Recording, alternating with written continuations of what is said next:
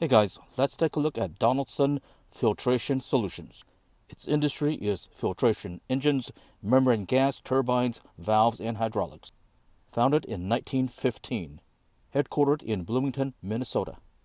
And the CEO is Todd Carpenter. Its ticker is the letter DCI.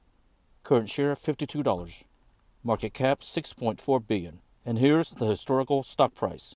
Enjoy learning about stocks? Hit the follow button.